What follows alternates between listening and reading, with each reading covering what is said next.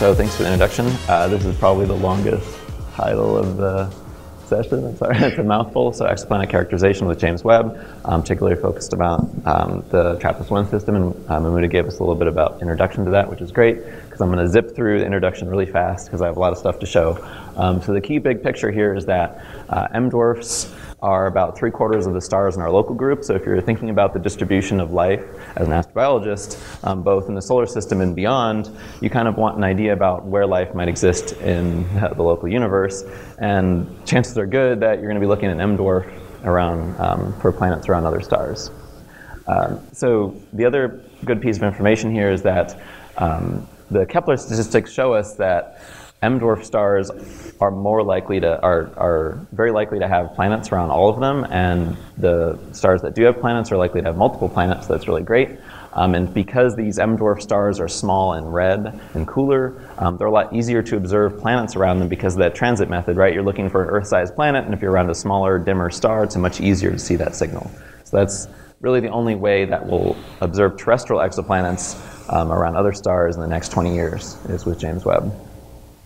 Um, but M dwarf stars have their own problems um, that other stars may not have, and that's a very long, superluminous pre-main sequence phase. So for up to a billion years, while the star and planets are forming, um, the star is much brighter than it will eventually be. And so planets that are in the habitable zone uh, for the main sequence phase, during the pre-main sequence phase, they can boil off, you know, tens or hundreds of oceans and build up to thousands of bars of, or atmospheres of oxygen. Um, and this is a serious issue for these planets actually having life eventually. Um, and in addition to this pre-main sequence phase that lasts so long, you have lifelong stellar activity uh, that can continue to sterilize the surface and strip off the atmosphere. So that's, that's maybe a bad sign. So if you're, so with that information, then you ask, how could M dwarf planets even have life? How could they even have an atmosphere? So we need to start asking some of these questions to be able to see if these are even great things to look at for astrobiology. Uh, so our first question might be, do these uh, planets even have an atmosphere? That's kind of the first bit of information you want when you observe them. Next might be, are these massive oxygen atmospheres I'm talking about, which are just theorized at this point, right? We don't have an oxygen, a massive oxygen planet in our solar system. We just have the life-based oxygen around Earth. Um, that's also a problem for a false, um, false biosignature, right? So are those types of planets even possible or common even? Um, or do you get a more Venus-like planet? Looking at our solar system, we know a Venus-like planet can exist, and this is a post-runaway greenhouse planet. Are these perhaps the most common um, types of planets around an M-dwarf star? Or, and perhaps the only way you can really get a habitable planet in the um, habitable zone of an M-dwarf star is can you have some kind of mini Neptune, a more hydrogen-rich, volatile-rich planet? Can this migrate in during formation, strip off its hydrogen envelope, and leave you with a habitable evaporated core, which was posited a few years ago by Rodrigo Luger et al. So spectral observations by James Webb will help us uh, distinguish or show whether these types of planets can occur and distinguish among them, hopefully. So we've already heard a little bit about TRAPPIST-1. This is a great system. I'll just hit it briefly again. Three planets inside the inner edge of the habitable zone, three planets within the conservative habitable zone, and at least one planet beyond the outer edge. So this gives you a great single system to look at planetary evolution um, amongst seven different targets, which is really great. Uh, so just for the rest of my talk, I'm going to talk about the climate model and the chemistry model I use, um, show some of the modeling results in terms of the atmospheres and their structures um, and their chemistry, and then go into some of the spectral signatures, which is really the, the point of, of the work I'm doing.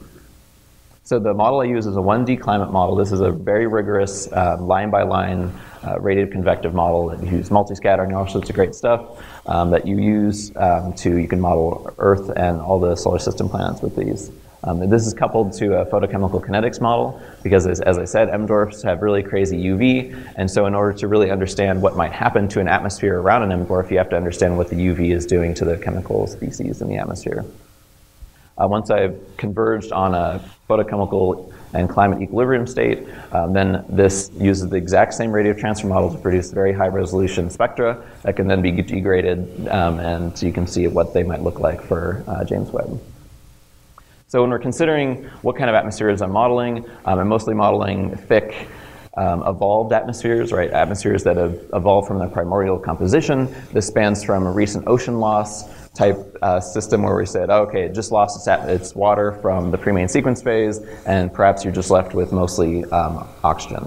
And then perhaps if that planet was not totally desiccated from its interior, that it might have outgassing like Earth, like Venus, like Io. Um, then you have other constituents that are volcanic that can be emitted, so you can look at that. And then all the way to the Venus-like end of the spectrum, um, where you just have a runaway greenhouse planet, and this is what you're left with. But since this is an astrobiology conference, um, let's also consider what um, an Earth-like planet might look like, right? All the other previous ones I showed are not really anything that we would expect life that we know it to, to live on, but I'm comparing this with an ocean-bearing planet that perhaps could develop life. So we can see if we can distinguish these. Uh, now, when I model these atmospheres and come up with the surface temperatures, um, the story becomes more complicated. The habitable zone is only a first order indicator of habitability, but if you stick different types of atmospheres on the same planet, um, you end up finding that uh, the habitable zone is not a guarantee of habitability. You can have planets span from 600, 600 Kelvin if you have a Venus-like atmosphere, um, all the way down to uh, very low, cold, 180 Kelvin for just an oxygen atmosphere on a colder planet. Um, so this is kind of a problem, but the habitable zone is still a place that is more likely. Right, an aqua planet um, gives us some more cases, so we have more good green colored, maybe habitable temperatures um, in the habitable zone than we have outside of it. So it's still a good indicator. Now with the modeling results, here's pressure and temperature structures and chemistry. I'm just going to breeze through these really fast. Um, but just a couple important points. Um, the previous speaker talked about phase curves, and that can tell you something about the temperature structure of the planet. And so that's one way you can observe an oxygen planet is because there's no water, um, the oxygen absorption actually creates a temperature inversion near the surface, and this may be observable by a thermal phase curve. Um, but I'm not going to show any of those in this talk. Um, this, these planets are otherwise distinguished by high ozone levels because there's no water to scrub out the ozone, which happens in Earth's troposphere. Um, and the same thing, you get carbon monoxide buildup in the atmosphere. These might be uh, observable. Now, if you have a little more outgassing with an oxygen planet, you end up losing this temperature inversion at the surface. You create a more uh, typical terrestrial adiabat of a temperature, um, but this is a lot warmer. You get some, uh, some water in the atmosphere, and this ends up going basically into a runaway greenhouse state, as you can see, where you have um, even more than you know 0.1% water in the, in the upper atmosphere, indicating that the planet's losing water. But you get a lot less carbon monoxide, um, and you get a little bit less buildup of ozone, but this is still fairly substantial. So that's pretty interesting. Then if we go to a Venus-like planet, and as far as I know, this is the first real um, exo-Venus modeling I've ever seen, so yay. Um, but you end up seeing that even a Venus around M dwarf still looks kind of Venus-like. These white lines are the Venus ones, and each color is the, each planet. You'll notice there's no TRAPPIST-1b here because the planet is too hot to actually form sulfuric acid clouds. So that really is not going to be quite as Venus-like. Um, and that's maybe good news or bad news for a couple of reasons. Um, but you see these planets can still form sulfuric acid clouds, and here's the optical depth that I form in this photochemical model. Um, and so you still might get clouds, which is, if you followed any of the exoplanet work with Hubble Space Telescope, that's might be a serious problem for transit spectroscopy. Now that I've burned through some of the climates, um, let's look maybe more at what we might actually observe.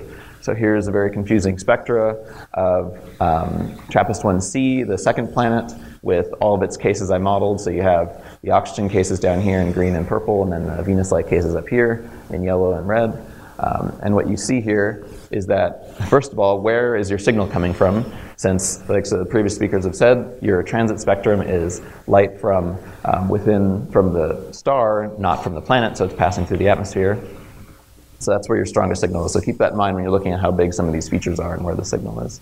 But you get CO2 features, right? That goes back to our first question is how do we know these planets even have an atmosphere? The most universal sign for a terrestrial planet is probably going to be carbon dioxide. Every planet I modeled had some carbon dioxide, and carbon dioxide produces very strong signals in multiple wavelength bands. So that's probably the first place to look for whether a planet has an atmosphere.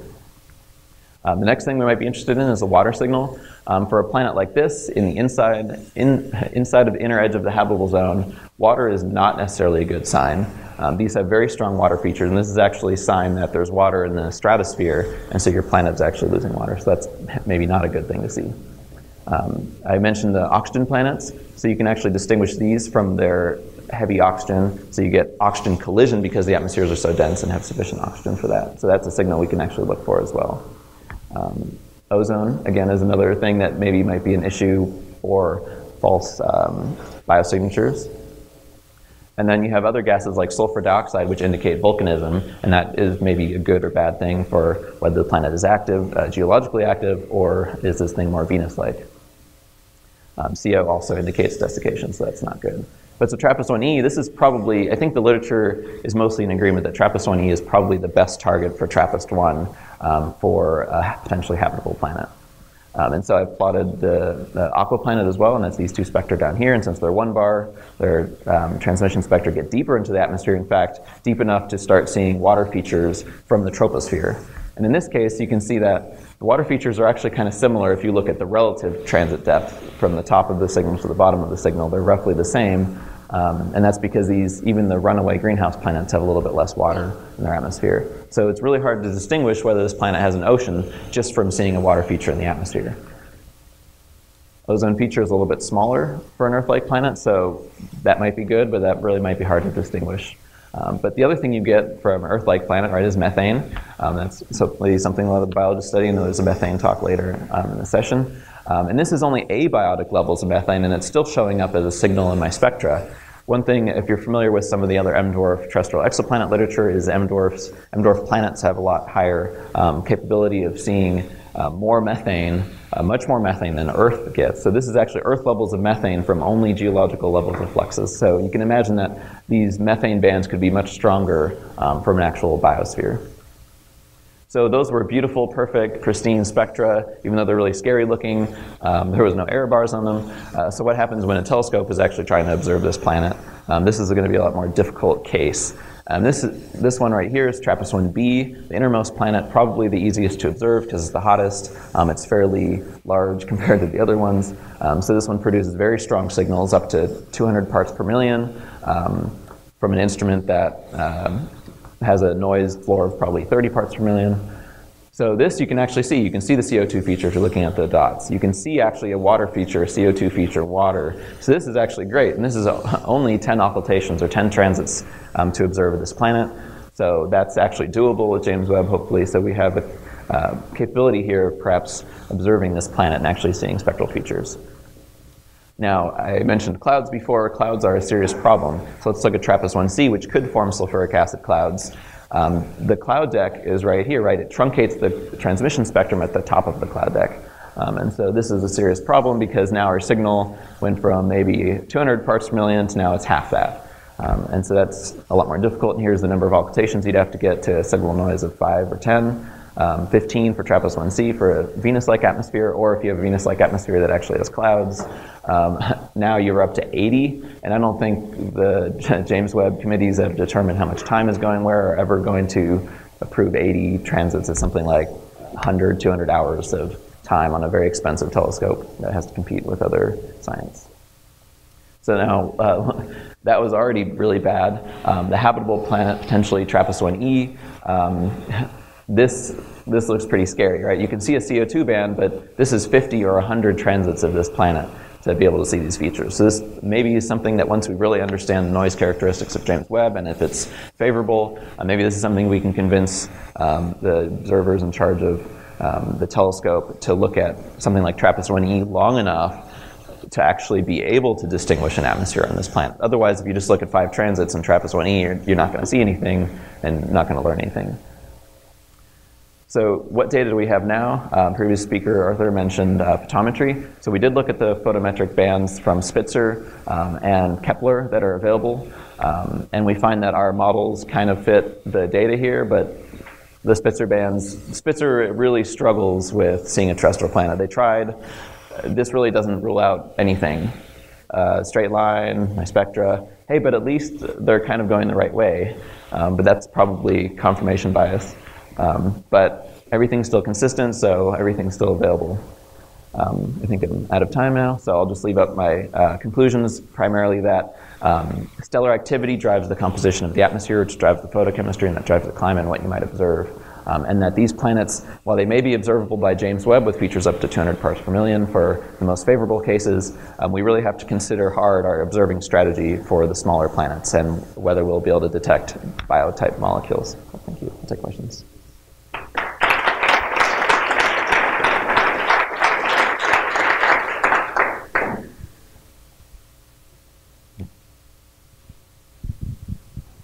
Any questions? To your left.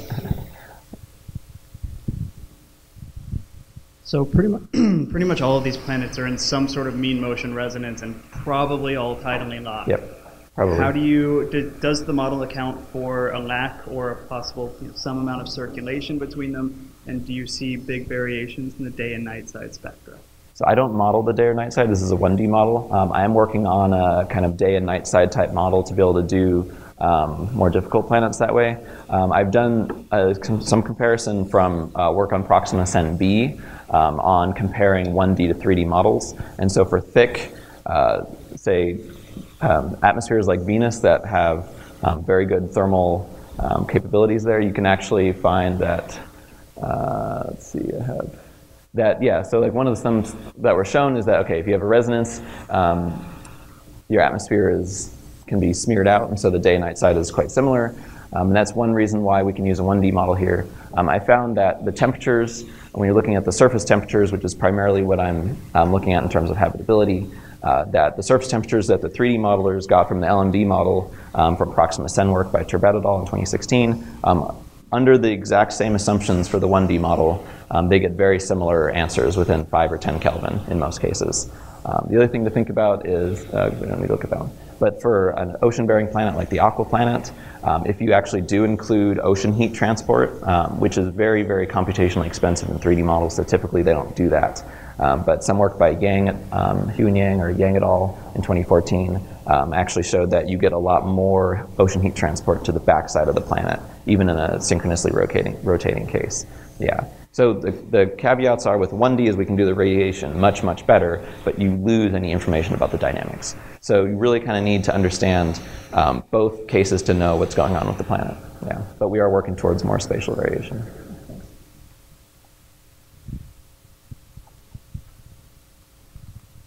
Hi. Um, so I just wanted to go back to when you were talking about um, M dwarf planets preferential, or well, M dwarf planets that preferentially have high methane concentrations that are abiotic and at Earth-like levels.